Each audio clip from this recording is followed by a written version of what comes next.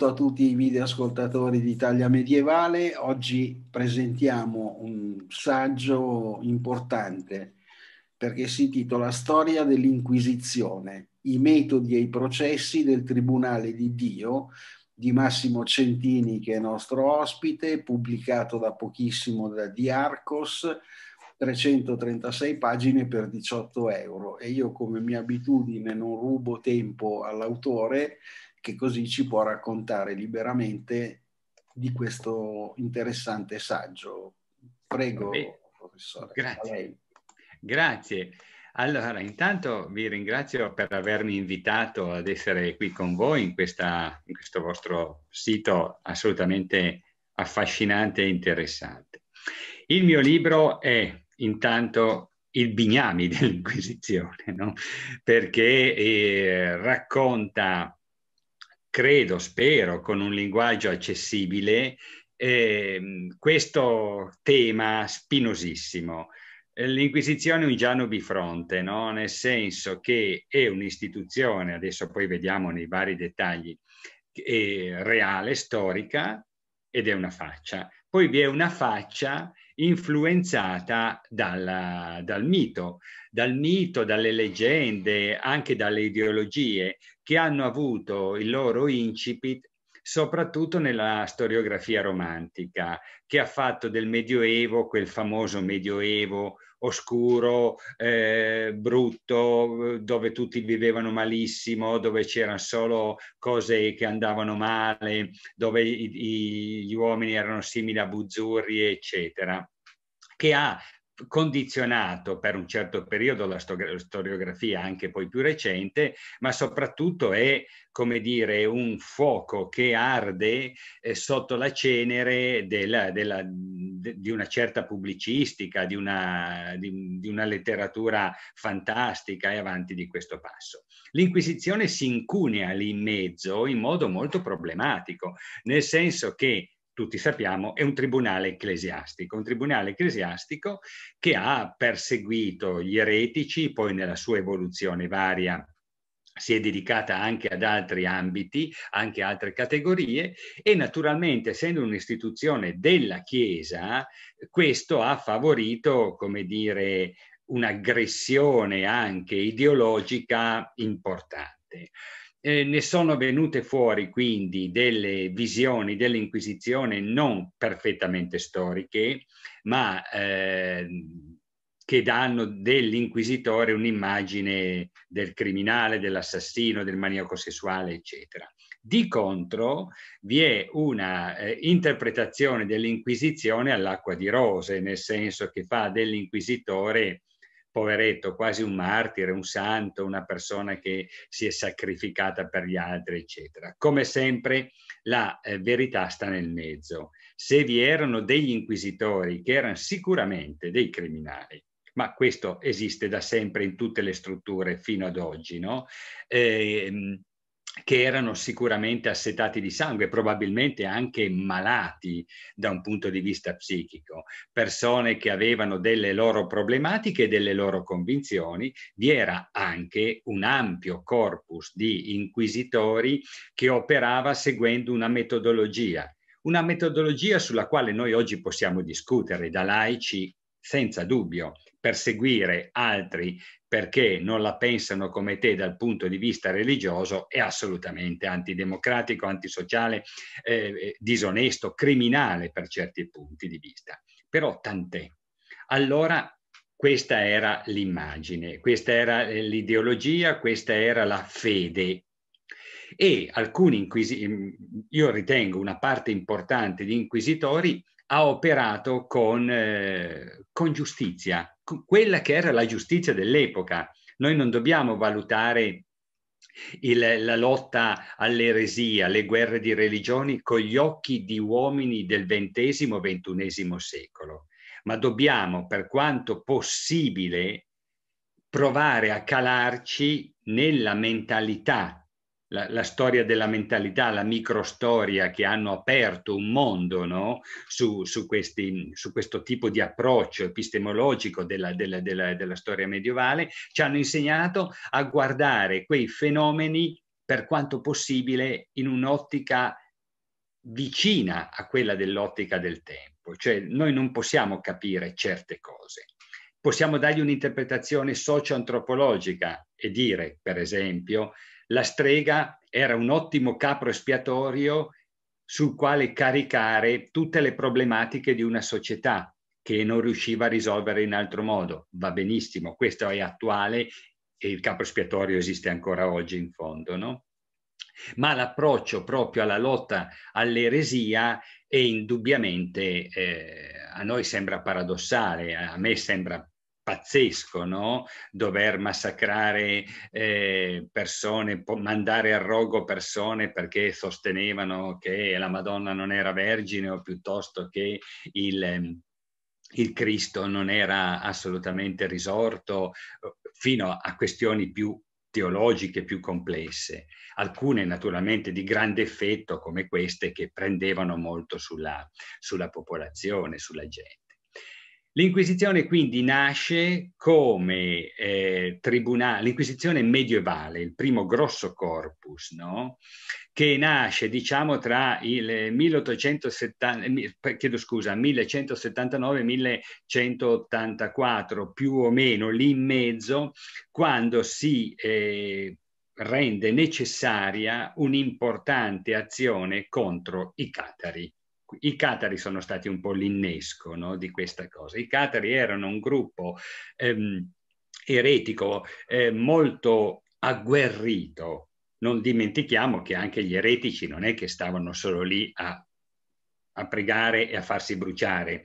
Vi erano lotte intestine all'interno della Francia, del Midi della Francia, molto forti, molto legate sia alla religione, ma non solo. Mi fa venire un po' in mente anche le guerre di religione attuali in varie parti del mondo, dove sì, il problema teologico-religioso è primario, però adesso sì, come una calamita, no? Si attirano anche altri problemi che forse con la religione non c'entrano molto no? o non c'entrano quantomeno direttamente. Il Tribunale dell'Inquisizione quindi nasce, il Tribunale medievale nasce in questo momento con due, eh, con due impostazioni, no?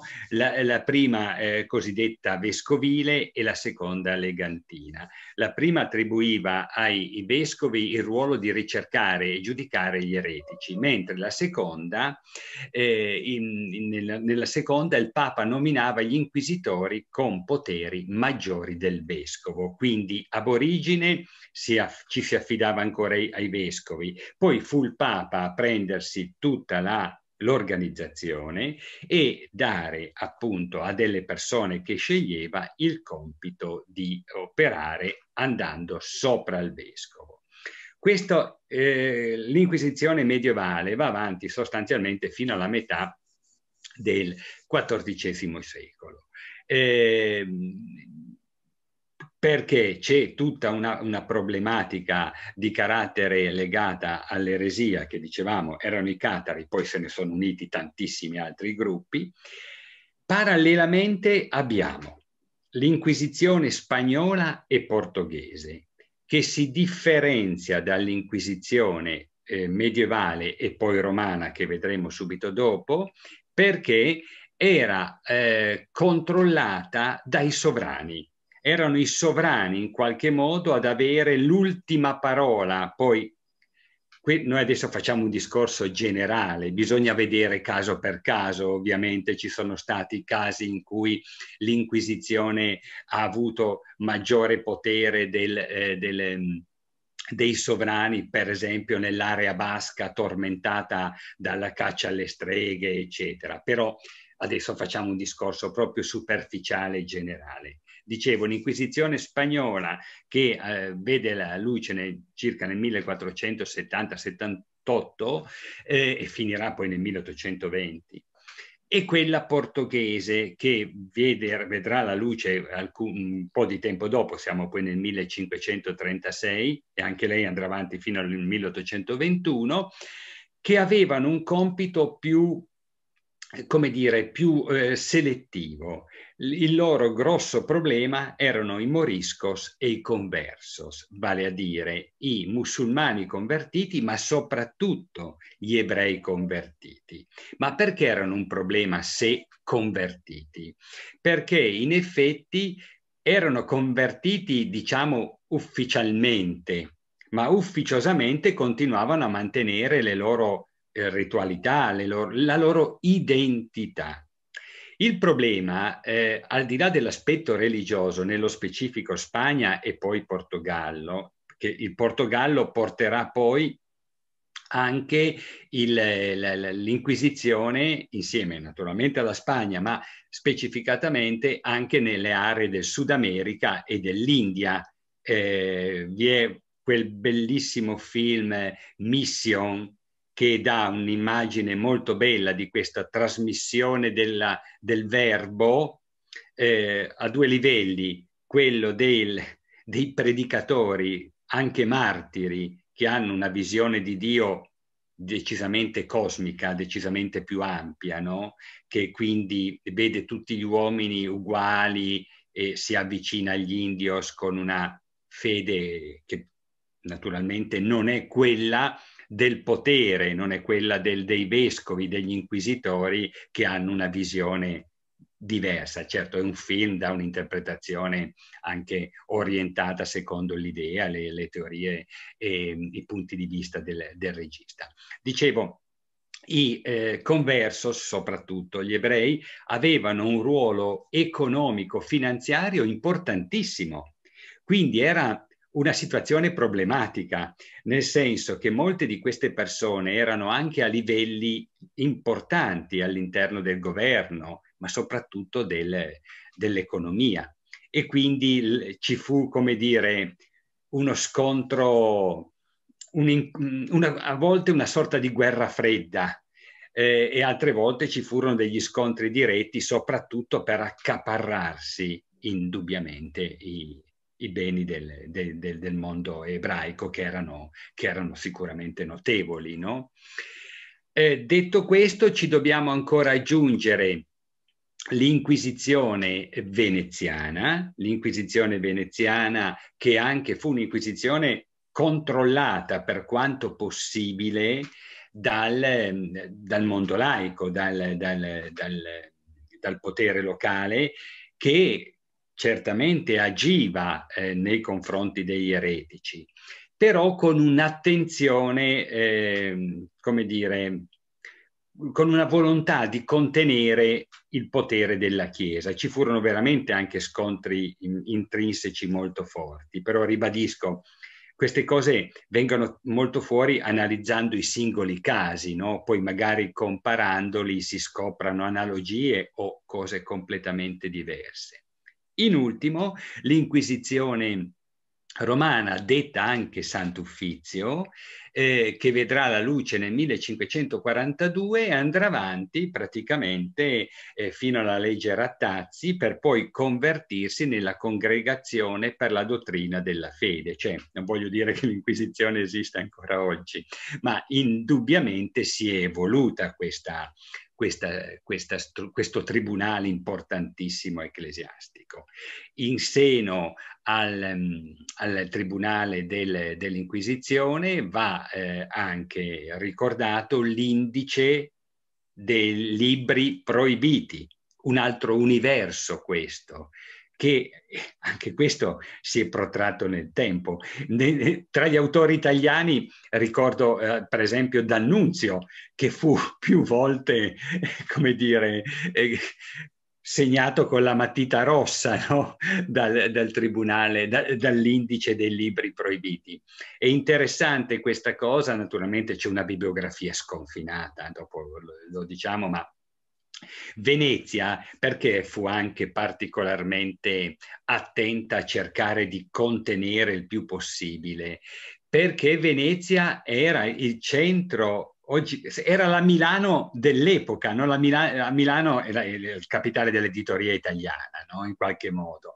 Allora era Venezia, dove vi erano più torchi che in tutta Italia. Ci sono dei dati interessantissimi su questa cosa. C'erano molti librai, ma noi pensiamo al libraio, al tipografo, ma allora era l'editore nel vero senso della parola e l'indice dei libri proibiti eh, dava delle indicazioni molto precise del tipo questo libro da pagina 20 a pagina 45 deve essere, eh, eh, questa parte deve essere eliminata.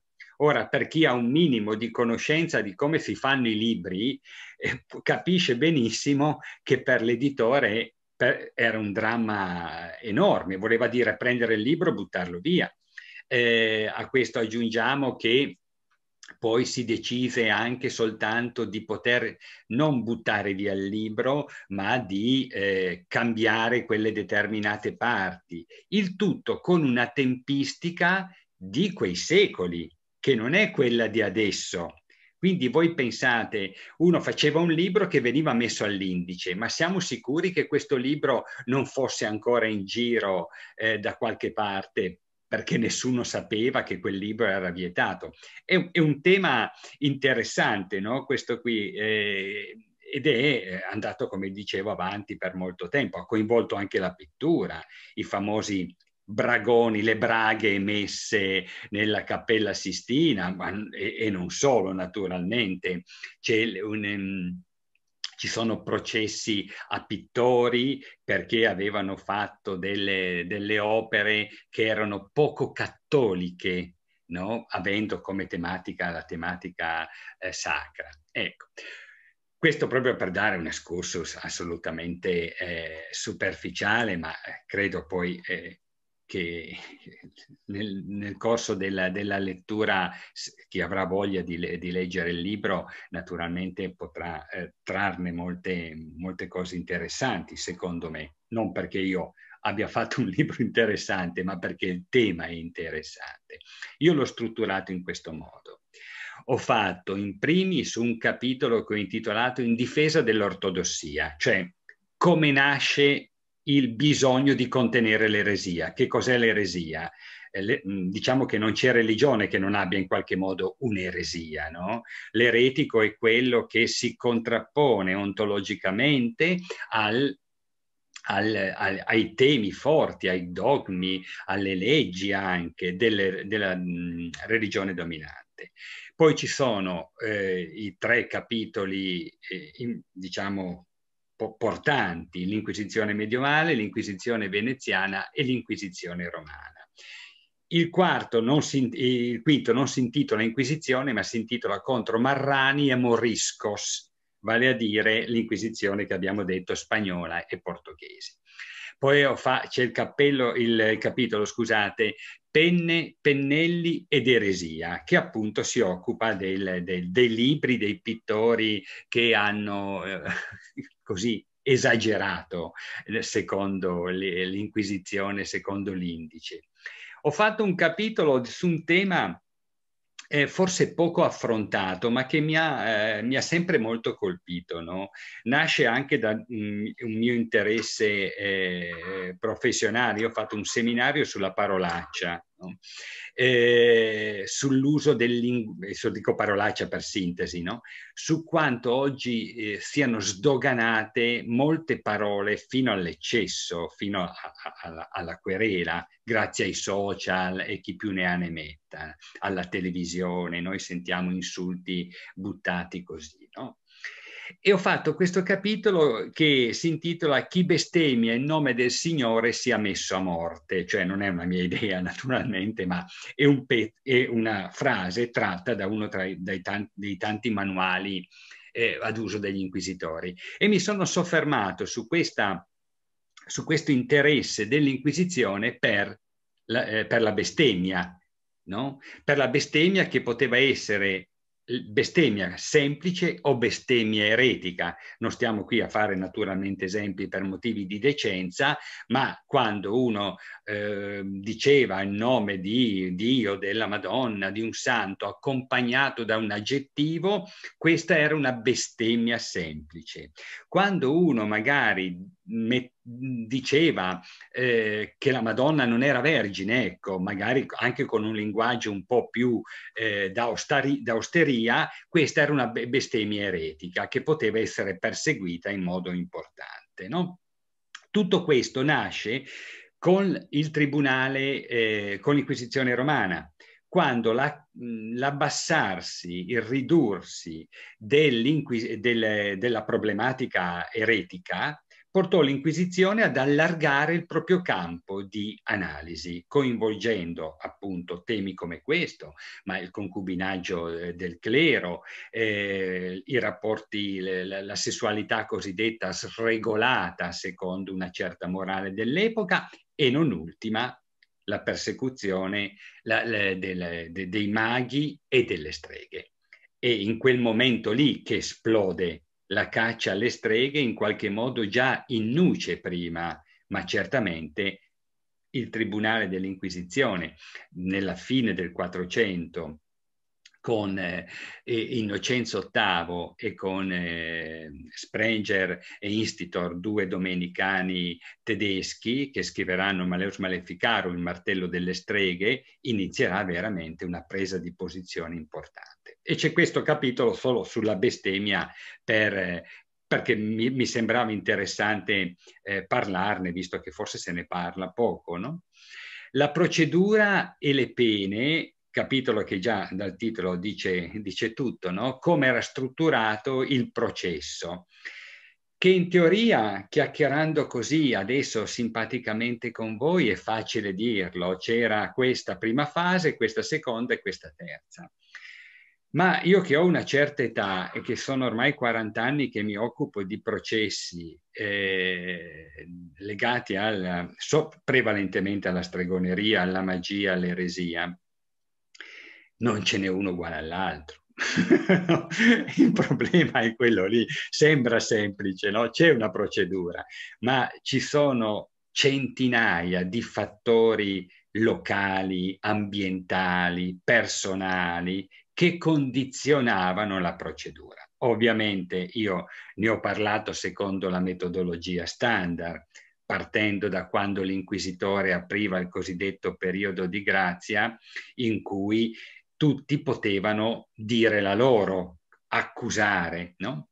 E accusare era molto semplice. Io mi rifaccio molto al capo espiatorio perché su 100 processi analizzati avendo, avendo la fonte più o meno completa, alla fine si scopre che almeno 95 erano alimentati, si soffiava sul fuoco perché vi erano delle problematiche intrinseche alla società. Bambini che morivano, animali che morivano, accidenti, gente malata, disgrazie varie, valanghe, vulcani. C'è sempre un elemento, ehm, epidemie, eh, al, al, quale l'uomo non sa dare una eh, ragione, un'origine razionale dice ma perché è venuto a me un accidente? Ma perché è morto a me mio figlio e non alla signora Rossi o alla signora Bianchi? E perché qualcuno mi ha mandato un accidente. Trovando, e chi me l'ha mandato? La strega, no? Trovando le, le, la, la colpa, dando la colpa alla strega, io in qualche modo è come se avessi assunto un ansiolitico culturale. Trovavo un'origine al mio male e questo è un tema molto studiato, molto analizzato, soprattutto per chi si è occupato di giurisprudenza di quei secoli. Quindi la procedura e le pene, la sofferenza induce a riflettere, altro capitolo, sulla tortura. Io sulla tortura ho fatto una premessa dicendo ci sono i musei della tortura, ma attenzione, c'è molto romanticismo, anche se la parola ci fa pensare a qualcos'altro, romanticismo, ma la storiografia romantica ha un po' enfatizzato questa cosa. Io ho fatto un elenco di tutti questi strumenti, di cui una, una serie eh, noi possediamo le ricostruzioni più recenti, non abbiamo il documento originale, cioè l'oggetto eh, io però ho pensato di metterli raccontando come funzionavano e evidenziando che solo una parte di questi era usato dagli inquisitori. Il più semplice era la corda anche perché poteva essere montata in qualunque posto. Il, ehm, all'inquisito venivano legate le mani così dietro la schiena e la corda passava su una trave e, o su una carucola e veniva strattonato. Ecco, già questo era più che sufficiente. E ho fatto questa panoramica dicendo che in fondo l'Inquisizione non ha inventato la tortura, esiste da sempre ed esisterà probabilmente sempre, ma ehm, se ne è servita e noi lo sappiamo soprattutto dai manuali, ma anche qui però eh, voi capite che è difficile dire, la usavano tutti, a volte dai documenti processuali noi leggiamo è stato sottoposto a questo, questo, quest'altro. Vol altre volte no. Io credo che entrasse in gioco anche l'umanità del, della, della persona. È indubbio che allora la tortura era consentita. C'è un bel film di, Pupo, di, di Pupi Avati, Magnificat, che si occupa di una parte del Medioevo più, in, più indietro di quella del, del 400-500 di cui stiamo parlando, che racconta molto bene questa fenomenologia. C'è un boia che va in giro a svolgere la sua attività di boia, appunto, di esecutore o di torturatore. E allora purtroppo era, era normale anche questo. Vi è poi il capitolo I cacciatori del male. I cacciatori del male è un elenco di alcuni inquisitori, eh, qualcuno enfatizzato che ho voluto metterlo, eh, forse addirittura, non voglio dire non esistito perché sono tutti storicamente eh, documentati, ma li ho messi perché una parte di questi ha eh, scritto dei manuali. La manualistica è un documento antropologico, psicologico, a volte psichiatrico, sociologico, eh, ma letterario, straordinario. Questi manuali che ti dicevano, uno in particolare, quello di Eliseo Masini, siamo già nel XVII secolo, il quale eh, ti dava addirittura il facsimile. No? Nel manuale eh, ci sono gli spazi bianchi dove si metteva il nome del, del condannato, del, del, giudice, del cancelliere, quindi uno si ricopiava eh, il, il, il documento per, eh, per, procedere all'interrogatorio. E Masini dà una, una parte importantissima di, eh, di metodologie da usare per la tortura, addirittura per i bambini, eh, con oggetti semplici, non con questi schiacciatesta o altre cose che si vedano nei musei, che forse non erano neanche usati, o forse sì, ma è irrilevante. Bastava in fondo mettere dei bastoni tra le dita delle, delle mani de, dell'inquisito e poi chiuderle con una forza eh, notevole eh, per, per, per, per, produrre de, della sofferenza. Quindi il cacciatore del male si, ci fa questo elenco di, di, di, di, inquisitori e di persone che si sono occupate appunto dell'inquisizione. Vi è poi il capitolo eretico non credere nella stregoneria, frase chiave incipit del Maleus Maleficarum, che appunto tratta il tema della stregoneria, come l'Inquisizione si è posta nei confronti della, della, della stregoneria. L'ho messo, naturalmente ho fatto un'estrema sintesi perché sarebbe impossibile, il tema della stregoneria è sconfinato. Ho fatto un capitolo la questione templare, iniziando a dire L'Inquisizione non, non, ha nessuna colpa per la fine dei Templari, perché è una fine politica, di connivenza politica, religiosa, eccetera. Però l'Inquisitore era presente, l'Inquisizione era presente e, come dire, ha fatto un po' la figura dello struzzo, mettendo la testa sotto la sabbia eh, per, eh, evita- per non... Ehm, per non entrare troppo nel merito della questione, però l'ho messo proprio per fare un po' di, di ordine anche su questa cosa. un altro capitolo è i segreti della penitenzieria, studi sono stati fatti nei, negli anni passati dall'Archivio Segreto Vaticano, è stato pubblicato una parte di questo materiale. La penitenziaria era quel, eh, quell'ente che aveva anche con un, un ruolo importante nel, nel, nel giudizio dei, dei, colpevoli, che praticamente funzionava così. Uno si autocondannava, si dichiarava colpevole rivolgendosi alla penitenzeria vaticana chiedendo appunto perdono. Questa, se il perdono arrivava, eh, ciò, eh, come dire, dava una sorta di immunità al soggetto che poteva evitare di finire nelle grinfie dell'Inquisizione o anche del Tribunale laico. Ed è interessantissimo, c'è un elenco sconfinato di reati, una percentuale elevatissima è legata a reati di, a sfondo sessuale e la cosa che colpisce è che molti di, questi, di queste persone che si rivolgono alla penitenzeria sono eh, preti, sono religiosi che hanno commesso tutta una serie di reati legati prevalentemente al, eh, al, sesso, alla trasgressione, al gioco, qualcuno addirittura al crimine, all'omicidio. L'ultimo capitolo è tra storia e immaginazione, dove ho fatto una carrellata molto veloce eh, sull'iconografia, l'inquisizione nell'arte, ma questo proprio molto ristretta perché se no non sarebbe bastato un libro, nella letteratura e nel cinema, dove la figura dell'inquisitore, non, certamente non ho parlato dei film sulla stregoneria, perché a quel punto lì anche lì occorrerebbe un libro, ma dove l'inquisitore in qualche modo viene fuori, no?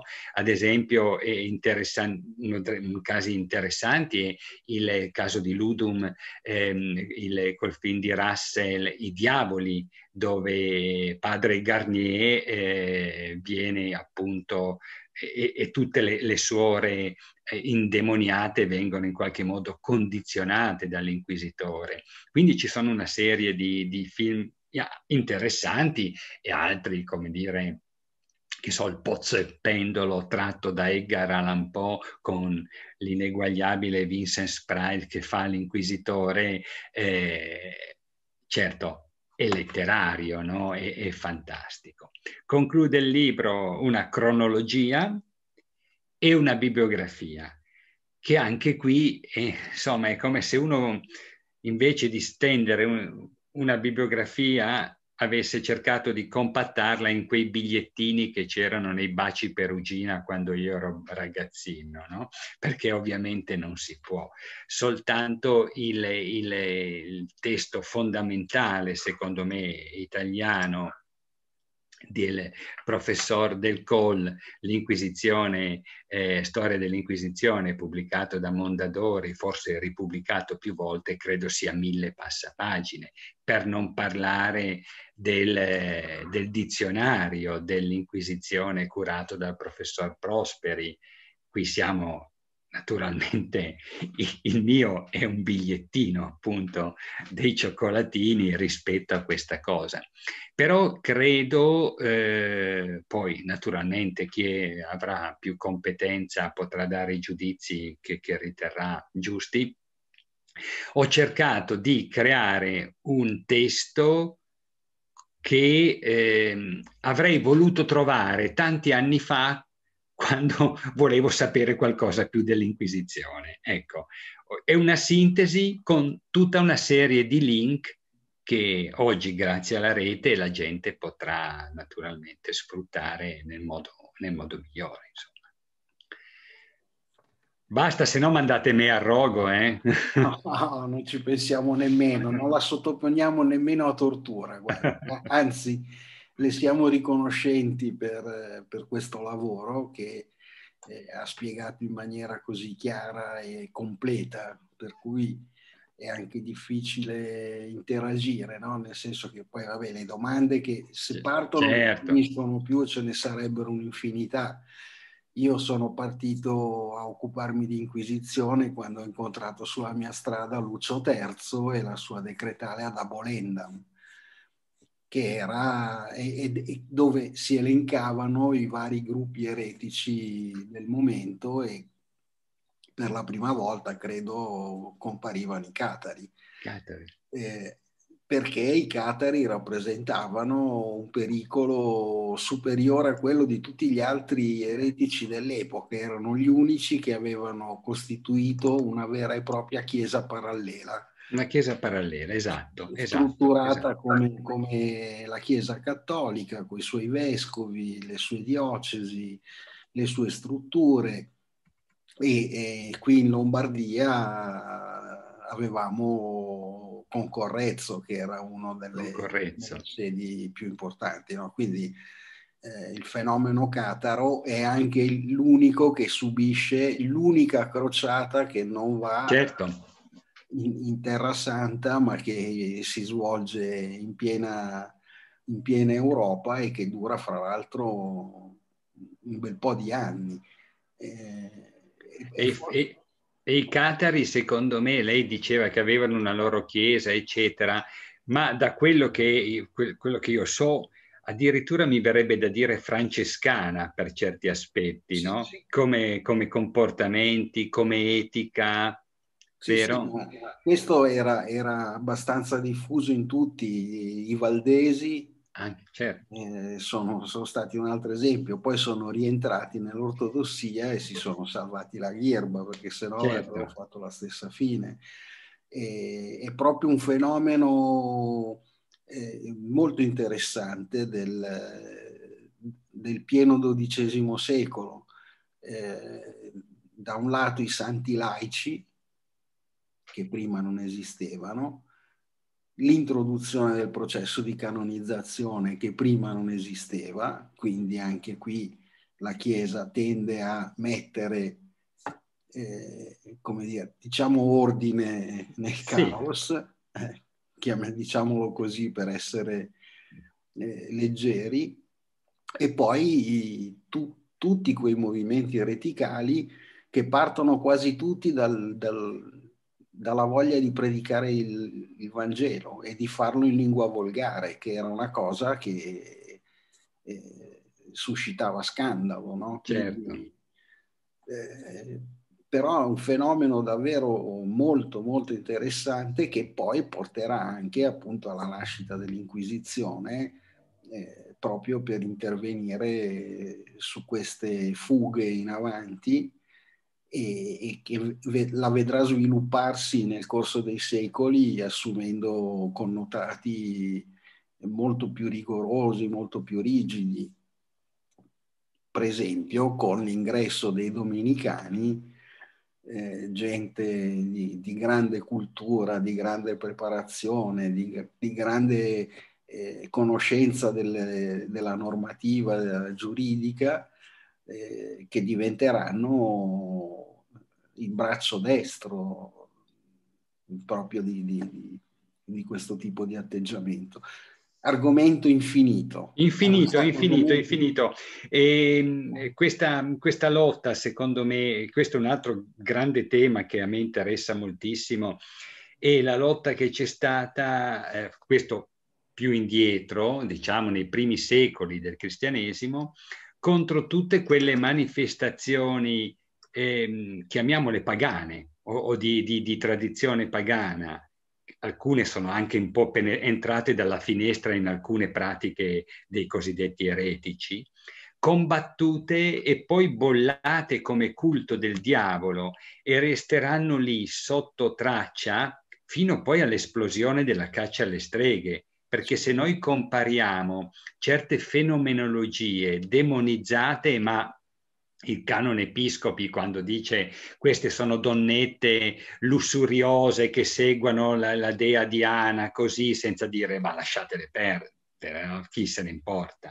In realtà tutte queste manifestazioni, il culto delle pietre, delle eclissi, eccetera, e poi vengono fuori eh, nel, nel Sabba eh, e Carlo Gisburg in questo ha, ha ha, fatto, ha messo un ordine incontestabile. Prima l'aveva fatto la Margaret Murray che era stata un po' più aggredita in quanto essendo egittologa e non storica, ma quelli erano gli anni in cui il Medioevo o meglio ancora, la stregoneria poteva essere eh, studiata solo dagli storici con i benandanti negli fine anni 60 di, di, Carlo Ginzburg è stata un po' sdoganata questa chiave di lettura. Ed è, e si è nello specifico della stregoneria, ovviamente non parlo di altri fenomeni del Medioevo, si è aperto anche ad altri specialisti, quindi l'antropologia, la sociologia, la medicina, la psichiatria. No, veramente abbiamo, siamo, abbiamo, cominciato, ma dobbiamo decidere Io quando finire. Scoperchiato il pozzo. Allora, finiamo ricordando il titolo del libro, Grazie. che è Storia dell'Inquisizione, i metodi e i processi del Tribunale di Dio, di Massimo Centini, pubblicato da Diarcos da pochissimo, 336 pagine per 18 euro, quindi se volete saperne di più eh, correte in libreria e acquistate il volume. Io ringrazio tantissimo. Grazie, grazie a voi. Massimo Centini, ricordo a tutti di continuare a seguirci sul nostro sito che è www.italiamedievale.org dove troverete anche tutte le altre video presentazioni frutto di questo lunghissimo anno e mezzo di pandemia che sembra stia per finire e chissà se non c'è lo zampino del diavolo anche qui. È possibile, è possibile. Eh. Chiamiamolo diavolo, ecco. e quindi grazie ancora. E grazie. Grazie, arrivederci.